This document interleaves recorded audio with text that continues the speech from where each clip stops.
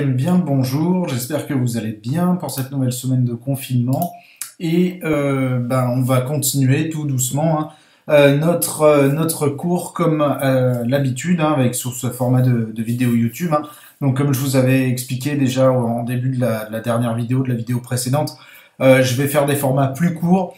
Et puis, euh, comme je l'ai diffusé dans le, dans, dans le mail collectif Pronote de ce matin, hein, je vais faire des, des, je vais mettre en ligne des petits QCM sur Pronote toutes les deux trois vidéos. je vous préviendrai pour que vous euh, vous soyez un peu plus acteur aussi, on va dire entre guillemets du cours, hein, pour que euh, vous participiez un peu plus à, au cours, pas un peu plus régulièrement, on va dire par le biais de ces petits QCM qui sont sur Pronote. Et donc, euh, bah voilà, on va, on va reprendre là, on s'était arrêté avant, pardon, je suis pas revenu exactement à la bonne diapo. Voilà. On s'était arrêté donc sur l'affirmation du pouvoir royal. On avait fini le grand 2, sur lequel vous avez un QCM qui est encore en ligne sur Pronote, hein, qui parlait de la vassalité, euh, notamment hein, de cette notion, euh, surtout de vassalité, c'est pas tellement de féodalité parce qu'on l'avait déjà vu, même si c'est lié, cette division en trois grands ordres, mais à l'intérieur d'un ordre, celui de la noblesse, vous avez la vassalité, qui peut être résumée par ce qu'on a vu là, hein, et pour plus de détails, vous regardez la vidéo précédente, mais en gros, chacun a des obligations envers son suzerain, celui qui est au-dessus, sauf si vous êtes le roi et qui n'a plus de suzerain, ou alors euh, il a des, aussi des obligations envers ses vassaux, ceux qui sont en dessous, sauf si vous êtes celui qui est tout en dessous.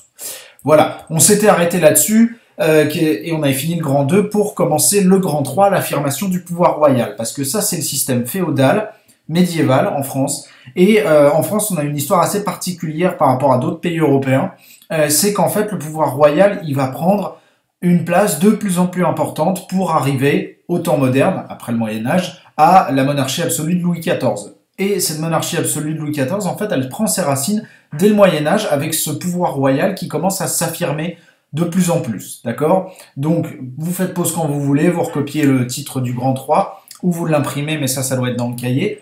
Donc, Grand 3, l'affirmation du pouvoir royal. Après avoir vu comment ça fonctionne, on va voir comment le roi de France, eh ben, s'impose.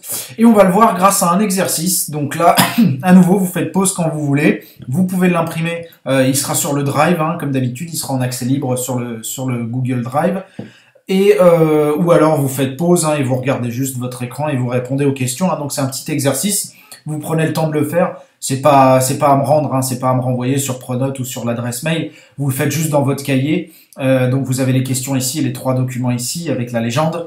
Donc je vous, vous prenez le temps que vous voulez, hein, vous mettez sur pause ou vous l'imprimez, vous le faites tranquillement.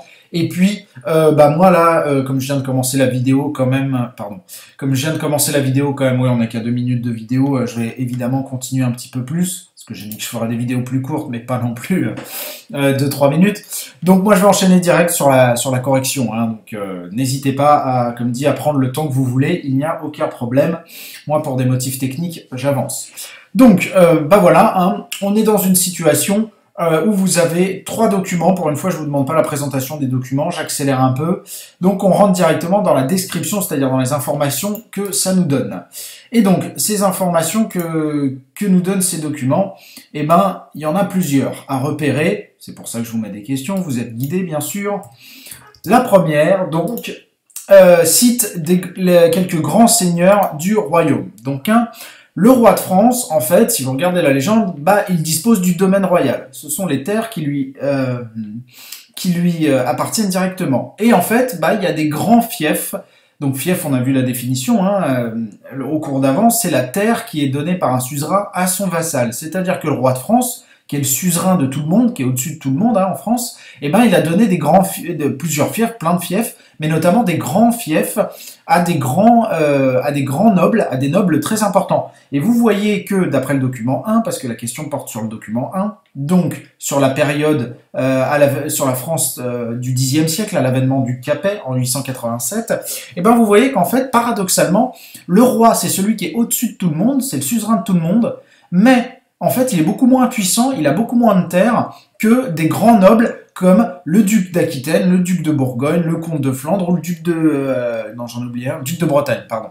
Voilà, donc ceux-là, en fait, c'est ceux que je demande dans la question, hein, là, il suffit juste de savoir lire, euh, enfin lire, faut être un peu malin, je vous demande, vous voyez, les grands seigneurs, donc bah, le duché d'Aquitaine, d'Aquitaine, le grand seigneur, c'est le duc d'Aquitaine, duché de Guyane, le grand seigneur, bah, c'est le duc de Guyane, et le comte de Flandre, pour un comté.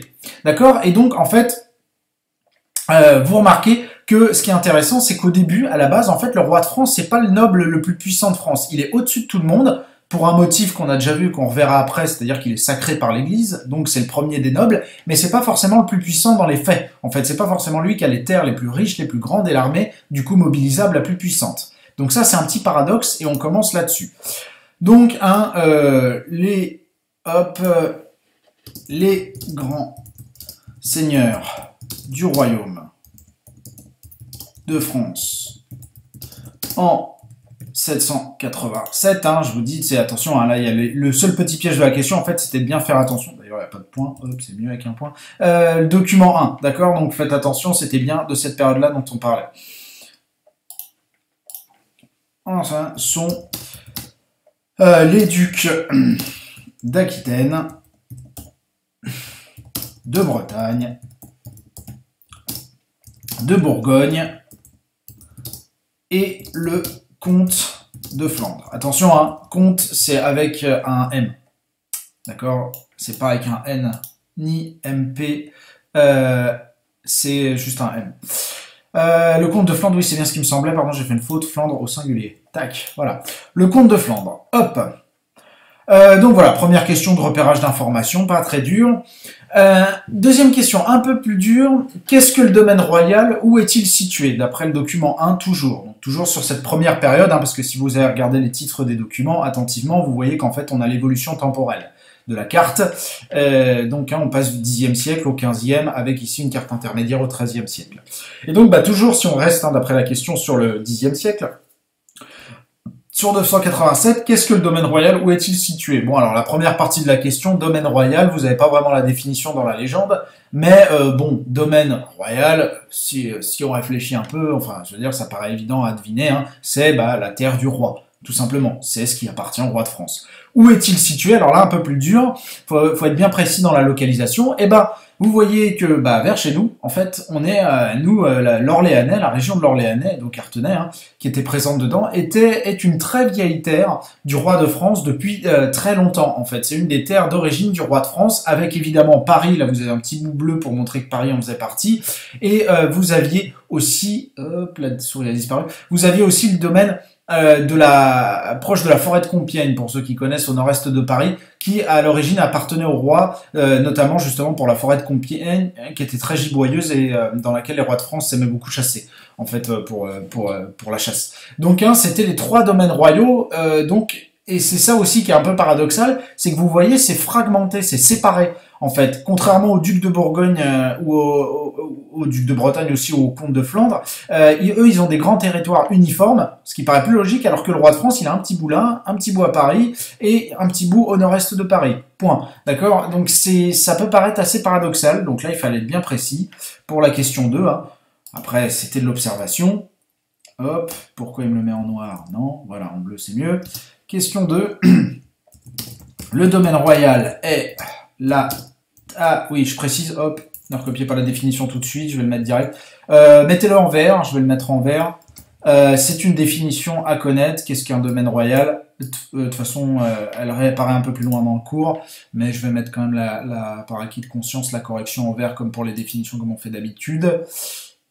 Tac, boum. Hop, voilà. Le domaine royal, ne bug pas s'il te plaît, merci. Le domaine royal est le territoire qui appartient directement au roi de France. D'accord? Donc c'est le, territoire sur lequel le roi de France tire directement, duquel, le roi de France tire directement ses impôts et euh, peut lever l'armée, etc. D'accord? Le reste du territoire, comme dit, ce sont des fiefs qu'il distribue à, des petits seigneurs ou à des grands seigneurs, et donc bah, il les administre, mais indirectement, puisqu'il y a le grand seigneur qui s'en occupe directement. Où est-il situé Et donc, hein, bah, ça, je vous l'ai dit. Ah, il enregistre automatiquement, voilà, c'était rapide. Le domaine royal est euh, du Xe siècle, on va mettre, hein, parce que ça évolue, est situé dans l'Orléanais, vers chez nous, euh, à Paris et au nord-est de Paris. Donc hein, c'est euh, ces trois petits espaces en fait. Hein, voilà. Euh, tac, tac, tac, pardon, je me suis un peu emmêlé. Question 3, toujours sur le document 1.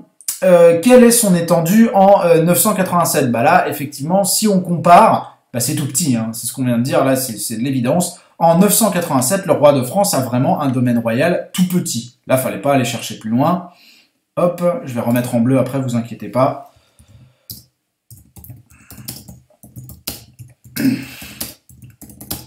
Euh, tout petit en 987. Donc en fait, à la base, hein, vous le voyez, vous commencez à comprendre que le roi de France, c'est de loin pas le noble le plus puissant de France. D'accord? Euh, C'est même... Euh, c'est même un des moins puissants, ok? On est vraiment aux antipodes de la... Bon, c'est pas exactement le même bleu, je suis désolé, mais bon, c'est pas grave. Je vais pas passer du temps à chercher les bonnes couleurs, surtout que là, je suis sur Mac, je suis pas sur Windows, donc c'est pas les mêmes polices. Enfin bref. Euh, les mêmes couleurs. Donc hein, le roi de France, à la base, comme dit, il a un petit domaine et euh, son autorité, on va le voir juste après l'exercice, elle ne tient que du sacre, du fait qu'il soit sacré par l'Église et donc que ce soit qu'il tire son pouvoir de Dieu. Mais à part ça, à part ce prestige-là, finalement, au début en tout cas, c'est pas du tout le, noble le plus puissant de France, loin de là. Après, justement, là, c'était plus intéressant, c'était de faire le comparatif au fil du temps, euh, au fil de la fin du Moyen Âge, voire même le début de la Renaissance ici, Comment évolue le domaine royal entre le 10e et le 15e siècle? Donc document 1 à 3. Donc là, fallait évidemment comparer euh, un peu plus les documents, se servir des autres.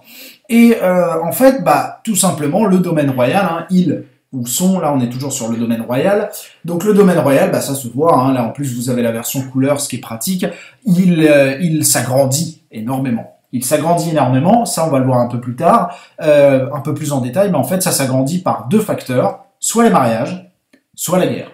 Le roi de France s'est battu et a battu, certains rois de France ont battu un certain nombre de nobles, et donc bah, une fois que vous gagnez la guerre, vous gagnez du territoire. Ou alors vous, vous, nouez des liens de mariage, et euh, si vous avez fait des bons mariages, au bout d'un moment, au bout d'une ou deux générations, le territoire tombe dans votre escarcelle, et c'est pour ça qu'on se retrouve à la fin avec un roi de France qui euh, possède quasiment toute la France. Alors ça, c'est souvent une question que vous me posez encore, et vous avez tout à fait raison. D'un coup, bah, l'Orléanais, ça appartient plus au roi de France. Ça appartient plus, c'est plus en bleu. Pourquoi? Parce qu'en fait, l'Orléanais, à partir de, euh, je sais plus exactement, euh, donc bah, c'est entre le 13e et le 15e siècle, il faudrait que je vérifie, j'ai plus la date en tête, excusez-moi. Mais en fait, le, le, le, le, le duché d'Orléans, le, le fief de l'Orléanais, va être donné au prince.